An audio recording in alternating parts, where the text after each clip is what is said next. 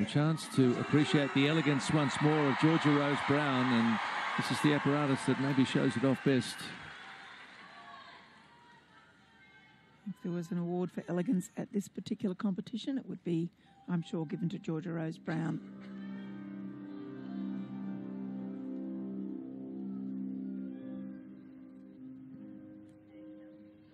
Floats around in that double turn with the leg up and once again showing her beautiful form throughout her dance elements. First line here, double twist forwards, pretty good. Very hard to control those landings. But she does a good job of it. Tricky part coming up for her. Double salto. She's a tall girl. Has to get her feet under her at the end. It's good.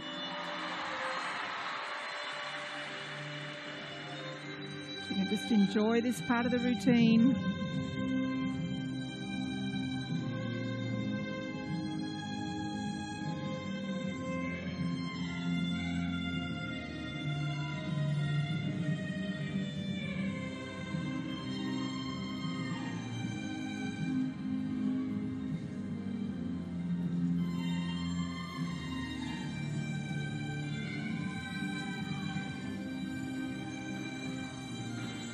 Beautiful double twist.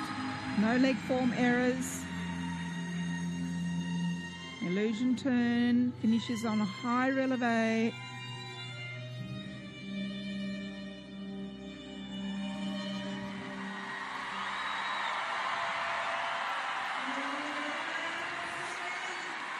A uh, real treat for the fans at the Coomera Indoor Sports Centre to watch the artistry of Georgia Rose Brown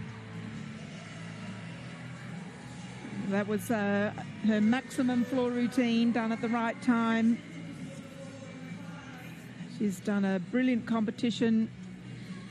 12.45 was a qualifying score. You need some more than that today.